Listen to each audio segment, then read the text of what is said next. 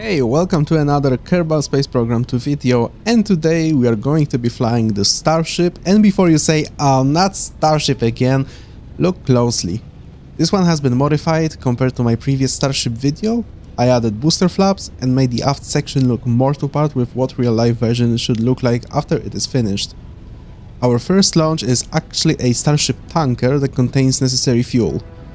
This mission also provides a twist at the end, but you probably have a good understanding of what that is based on thumbnail and the title. In today's adventures we'll witness two spacecraft launched to low Kerbin orbit first, then the second one shall be refueled, one will sadly end up deorbiting and burning up in the atmosphere, the other however will carry our Kerbonauts to Duna. But before that happens, let's talk about what's going on on screen, like the cargo glitching and showing outside the cargo bay. Uh, we're approaching MECO and first stage separation and there we go and boost back to KSC, meanwhile our starship proceeds to orbit. Of course I couldn't fly both craft at the same time, it's just magic of editing for you and I hope you enjoy that concept.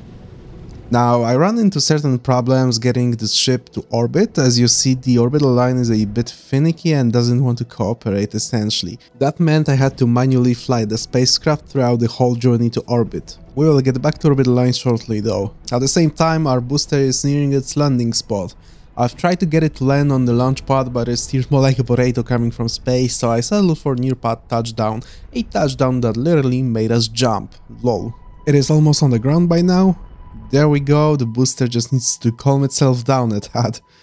I think that happens due to the landing gear being extremely soft. Let's just get it somewhat stable and recover the vessel before it tips over and I'd have to redo the whole boost back. Nothing happened. That brings us closer to meat and potatoes of this whole mission project. This amazing shot shows you the great visuals along with our ship that awaits its companion, the crewed starship, launch of which you can see on your screens right now. It is a bit more simple flight as we're not showing the first stage boost back again, since you know that it works. Ahead is the orbital maneuvering and loads of really small corrections as I aimed for the closest possible intersect.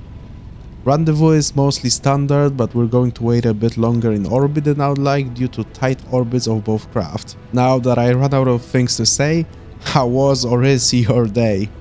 Mine just started, it's almost 6 am, I got up 2 hours ago and decided to do this commentary and get the video out for you. Today I'm supposed to pick up my new RAM for the PC as the current one doesn't cut it anymore. I also need to get my internship in check and sorted out or at least get the process going.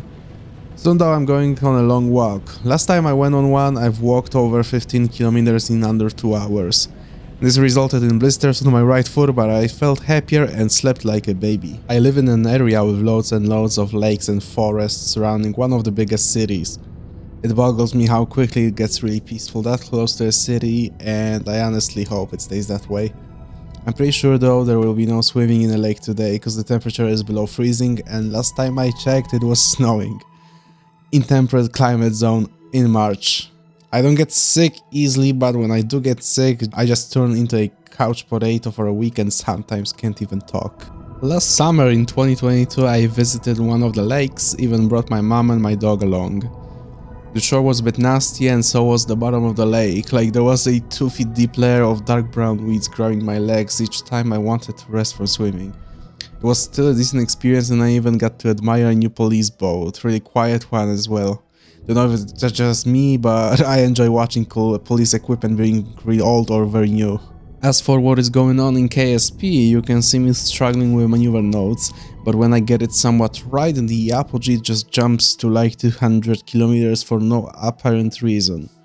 We ended up stretching said apogee way too much, almost 180k above Kerbin and that meant I had to do certain corrections, first to get into orbit at all, and then bring the apogee down. Such a situation does not bother me at all because I know the tanker has way more fuel than I'm gonna need or can even fit inside the crewed starship tanks.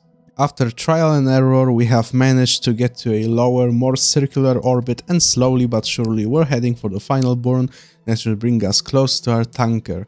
Before that though, we needed to time warp around so that we could catch up to the target ship and place ourselves behind it and perform a Hohmann transfer, albeit tiny. Let's get the separation distance as low as possible and have that room for mistakes. Mostly in-game mistakes as most readouts during this mission turned out to be inaccurate like required delta V or how much delta V we actually have.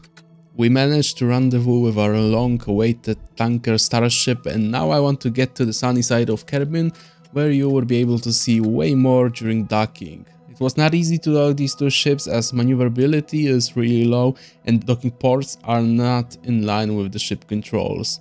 I gave up after 20 minutes and at last docked when I got home later that day but decided to not record as even looking at that docking would have made you scream. Me showing you the beginning of my docking attempts serves as proof that you can steer these ships toward one another and that it is possible to get them to mate mainly by using the method where you switch controls on both ships to desired docking ports and set a corresponding port on the other ship as your target and then point the nav ball onto target using SAS.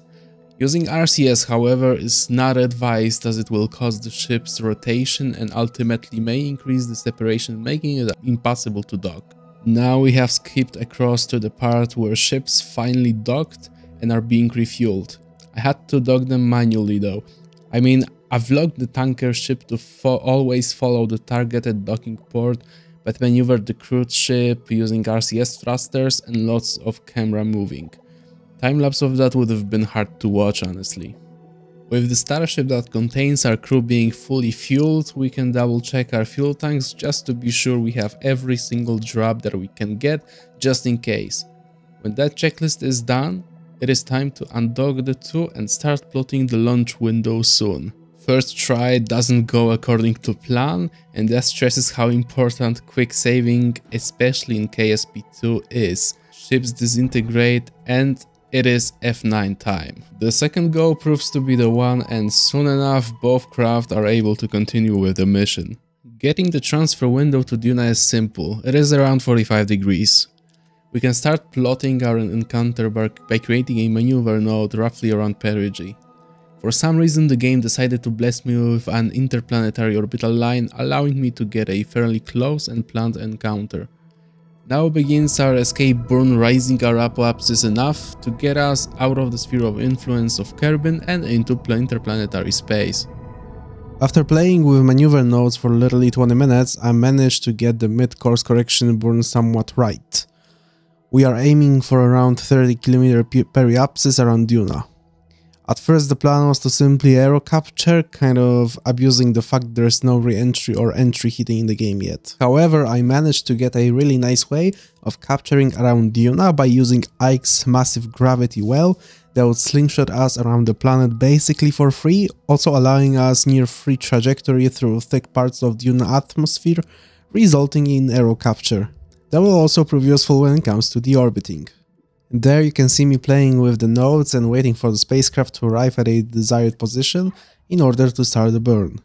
It's worth to mention this is not a tutorial on interplanetary travel in Kerbal Space Program 2 and it should not be treated as such. Now that we have entered Duna's sphere of influence, we should start planning and fine-tuning our capture burn that will get us into orbit around Ike. It is a fairly massive burn, but we got more than enough fuel to do as we please basically.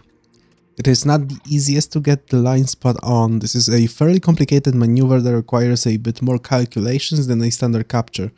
I presume the game isn't as accurate as it should be, and I may not be the best at it yet. Still learning, always learning, right? Since we got that out of the way, and our final line is nearly done, we can skip further ahead to one of the most beautiful shots I've ever taken in KSP by all means. This is our approach to the Duna Ike system and since we are slingshotting around Ike anyway, I planned a little surprise for all of you great folks watching this video this far, which you can see now that's an Ike flyby really close to the surface. Please enjoy.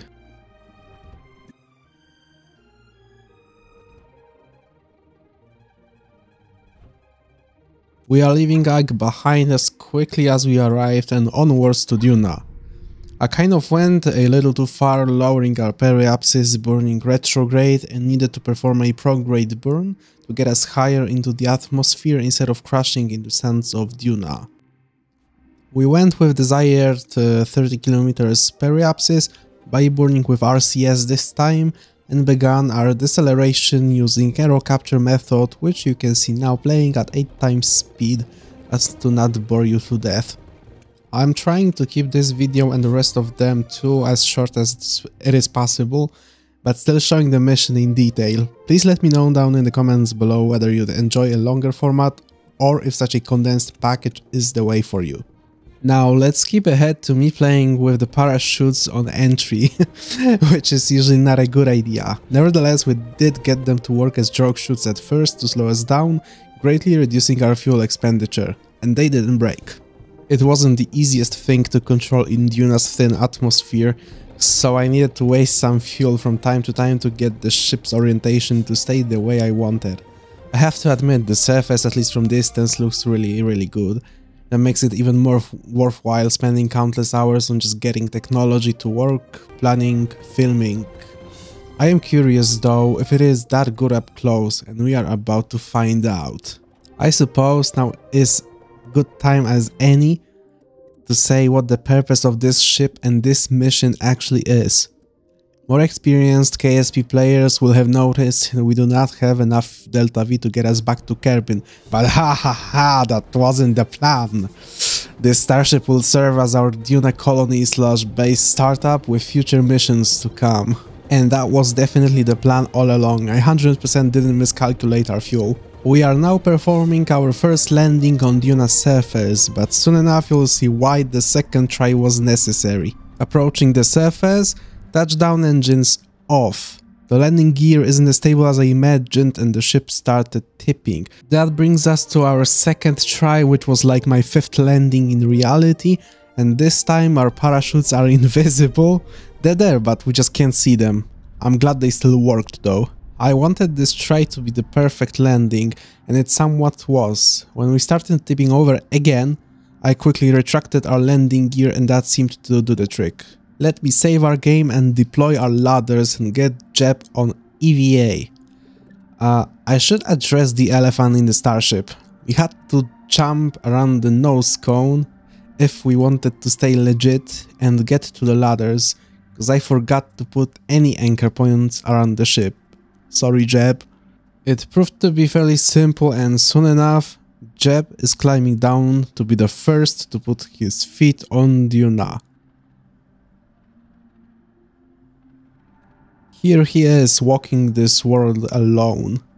The adventure has come to an end and it is time to plant our flag, name our future base site and thank you guys for watching. I hope you enjoyed and if you did, leave a like, if not, a dislike and see you in the future missions.